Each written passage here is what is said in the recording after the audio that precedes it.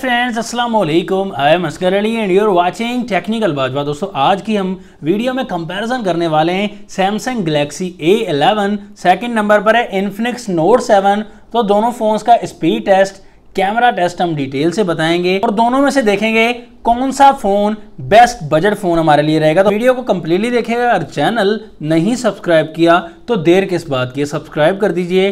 Bell icon को लाजमी click करें ताकि लेटेस्ट वीडियोस की नोटिफिकेशंस जल्दी से मिलती रहेंगी। सो लेट्स स्टार्ट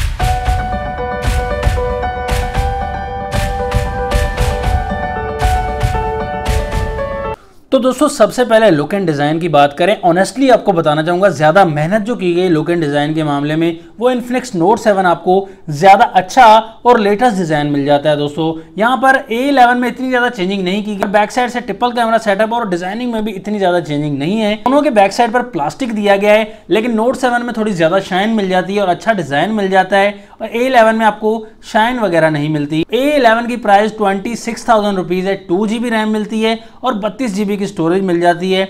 छब्बीस हज़ार में दो जी बी बत्तीस जी बी मैं समझता हूँ बिल्कुल कम है। इन्फिनिक्स नोट सेवन में टू वेरिएंट मिलते हैं। ट्वेंटी सेवन थाउज़ेंड रुपीज़ में four G B RAM one twenty eight G B मिलता है। और ट्वेंटी नाइन थाउज़ेंड में six G B RAM one twenty eight G B internal storage मिल जाती है। पर रैम एंड स्टोरेज के लिहाज से भी नोट सेवन काफ़ी ज़्यादा आगे है। फ़ोन के बैक साइड पर कैमराज यहाँ पर काफ़ी डिफरेंस है। नोट सेवन में फोर कैमराज दिए गए बैक साइड पर। 48 मेगापिक्सल का मेन कैमरा है, जबकि A11 में ट्रिपल कैमरा सेटअप है।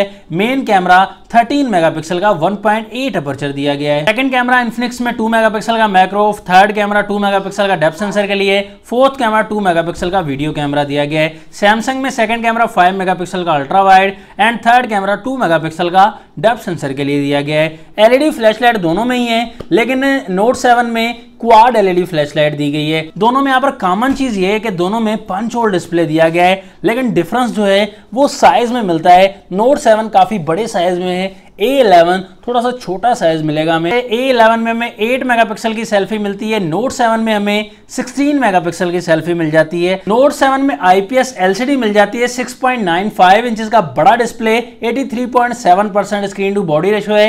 एचडी प्लस रेजोल्यूशन के साथ मिलेगा। 258 ppi डेंसिटी हमें मिल जाती है। प्रोटेक्शन को मेंशन नहीं किया गया। काफ़ी कहते हैं कि कॉर्निंग गोइला ग्लास दिया गया है। सैमसंग में P L S T F T screen दी गई है और यहाँ पर 6.4 पॉइंट इंचेस का डिस्प्ले दिया गया है। 81.6 percent screen to body ratio है। एच डी प्लस की रेजोल्यूशन के साथ ये भी आता है और 268 पीपीआई डेंसिटी मिल जाती है। यहाँ पर प्रोटेक्शन को मेंशन नहीं किया गया कि कौन सी प्रोटेक्शन दी गई है। कलर वाइज डिस्प्ले वाइज आपको ज़्यादा ब्राइट एंड अच्छे कलर्स इन्फिनिक्स नोट सेवन में काफ़ी बेहतर मिलते हैं, जबकि A11 में थोड़ा वाइट वाइट सा डिस्प्ले मिलेगा। लेकिन अगर कंपेयर किया जाए तो नोट सेवन का डिस्प्ले ज़्यादा वाइट और ज़्यादा बेहतर मिलता है। दोनों के प्रोसेसर में भी बहुत ही ज़्यादा डिफरेंस दिया गया। इन्फिनिक्स नोट सेवन में मीडिया टेक हीलियो जी मिलता है 12 नैनोमीटर वाला, जो कि परफॉर्मेंस के लिहाज से पबजी वगैरह आसानी से प्ले कर सकते हैं। या एसफॉल्ट 9 सैमसंग A11 में हमें स्नैपड्रैगन 450 मिलता है, जो कि 14 नैनोमीटर वाला है। यहाँ पर पबजी वगैरह आप प्ले करेंगे तो लैग की प्रॉब्लम आपको काफ़ी ज़्यादा मिलेगी। तो फ़ोन हीटअप का भी खतरा है। और दोनों फ़ोन एंड्रॉइड 10 के साथ आते हैं। ऑपरेटिंग सिस्टम सैमसंग में वन यू आई मिलेगा। इन्फ्लिक्स में एक्स ओ एक्स वर्जन मिलता है। दोनों का डिफरेंट स्किन दी गई है। डिफरेंट ऑपरेटिंग सिस्टम दिया गया है। इन्फ्लिक्स नोट सेवन में पाँच हज़ार एमएच की बड़ी बैटरी मिलेगी सैमसंग में फोर थाउज़ेंड एमएच की बैटरी मिलेगी। तो यहाँ पर फास्ट चार्जिंग का ऑप्शन दोनों में ही दिया गया है। इन्फ्लिक्स में 18 वॉट की फास्ट चार्जिंग है सैमसंग में 15 वॉट की फास्ट चार्जिंग दी गई है। इन्फिनिक्स 8.8 पॉइंट mm की थिकनेस के साथ आता है सैमसंग 8 mm की थिकनेस के साथ आता है। A11 थोड़ा सा स्मार्ट मिलेगा, क्योंकि बैटरी कम दी गई है। चार्जिंग पोर्ट A11 में हमें टाइप सी वाली मिलती है इन्फिनिक्स में माइक्रो यूएसबी 2.0 मिलती है। तो स्पीकर क्वालिटी की बात करें इन्फिनिक्स में ड्यूअल स्पीकर है और क्वालिटी भी काफ़ी बेहतर मिलती है। सैमसंग से बहुत अच्छा साउंड प्रोवाइड करता है इन्फिनिक्स यहाँ पर दोनों फोन्स को ऑन करेंगे, देखेंगे, दोनों में से कौन सा पहले ऑन हो जाता है और बाजी मार जाएगा। यहाँ पर इन्फिनिक्स पहले ऑन हो गया है और बाजी भी मार गया है। डायलअप पर क्लिक किया इन्फिनिक्स फास्ट है। कैमरा पर क्लिक किया इन्फिनिक्स फास्ट है। सेटिंग पर क्लिक किया इन्फिनिक्स फास्ट जेंडर पर क्लिक किया इन्फिनिक्स फास्ट है। प्ले स्टोर पर क्लिक किया इन्फिनिक्स फास्ट है। गूगल ऑप्शन पर क्लिक किया, यहाँ पर भी इन्फिनिक्स फास्ट है। यूट्यूब पर क्लिक किया, तकरीबन सेम रहे दोनों फोन्स गेम्स की तरफ़ आते हैं, यहाँ पर देखते हैं किस फ़ोन में कितना दम है। एट बॉल पूल पर हमने क्लिक कर दिया है। यहाँ पर भी इन्फिनिक्स काफ़ी फास्ट है। टेंपल रन टू की तरफ़ आते हैं।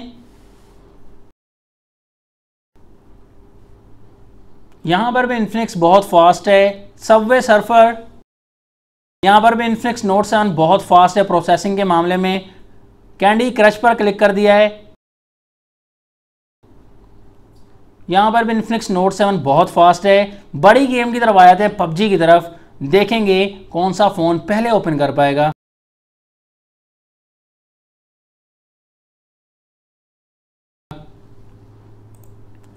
तो यहाँ पर भी डेफिनेटली बहुत ज़्यादा फास्ट है इन्फिनिक्स नोट सेवन बहुत ज़्यादा फास्ट रहा, काफ़ी एप्लीकेशंस में, तकरीबन सभी एप्लीकेशन में इन्फिनिक्स नोट सेवन की परफॉर्मेंस काफ़ी फास्ट रही दोस्तों। तो आपने देख ही लिया, यहाँ पर फैसला हो गया है नोट सेवन आपको परफॉर्मेंस भी अच्छी प्रोवाइड करेगा। फिंगरप्रिंट के मामले में side fingerprint Infinix Note seven का हम चेक कर लेते हैं।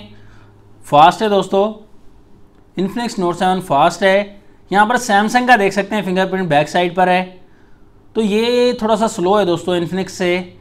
इतना ज़्यादा मुकाबला नहीं कर पा रहा इन्फिनिक्स का फिंगरप्रिंट ज़्यादा फास्ट है। फेस आईडी की वर्किंग देख सकते हैं। तो फेस आईडी के मामले में भी इन्फिनिक्स नोट सेवन बहुत ज़्यादा फास्ट रिस्पॉन्स कर रहा है। तो फोन्स के कैमराज की टक्कर है, काफ़ी ज़्यादा टक्कर दी गई है। यहाँ पर 48 मेगापिक्सल का मेन कैमरा इन्फिनिक्स में और 13 मेगापिक्सल का सैमसंग में मेन कैमरा दिया गया। यहाँ पर डिसाइड आप खुद ही कर सकते हैं कलर के मामले में क्लैरिटी के मामले में क्लियरेंस के मामले में लो लाइट का मामला हो, चाहे डे लाइट का मामला हो इन्फ्लिक्स नोट सेवन हर लिहाज से बेस्ट दिया गया दोस्तों। बैक कैमरा के मामले में यहाँ पर आप कलरिंग देख सकते हैं दोस्तों। डिटेल के मामले में भी कोई मुकाबला नहीं बनता। यहाँ पर कंपैरिजन इसलिए किया दोस्तों 13 एंड 48 का, कि आपको प्राइस में देखें कितना ज़्यादा डिफरेंस मिल रहा है। और यहाँ पर इन्फिनिक्स नोट सेवन आपको अच्छी क्वालिटी प्रोवाइड कर रहा है। हालाँकि दोनों की तकरीबन सेम ही प्राइस है, लेकिन क्वालिटी वाइज बैक कैमरा के मामले में इन्फिनिक्स नोट 7 बहुत बेहतर काम करता है। ए से तो फ्रंट कैमरा का भी कुछ इसी तरीके से 8 मेगापिक्सल एंड 16 मेगापिक्सल का कैमरा तो फ्रंट कैमरा के मामले में भी इन्फिनिक्स नोट 7 बहुत बेहतरीन काम करता है।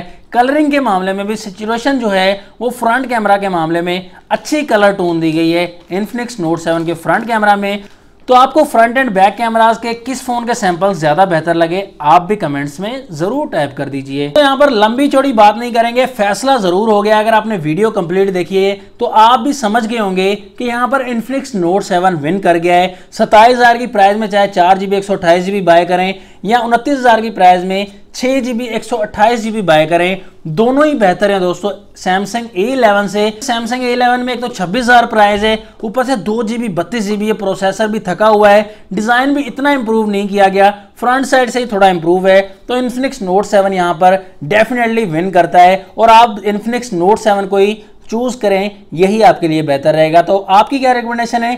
आप भी कमेंट्स में ज़रूर बताइएगा। नेक्स्ट वीडियो के लिए ज़्यादा मैं आपसे इजाज़त। अल्लाह हाफिज़। पाकिस्तान। जिंदाबाद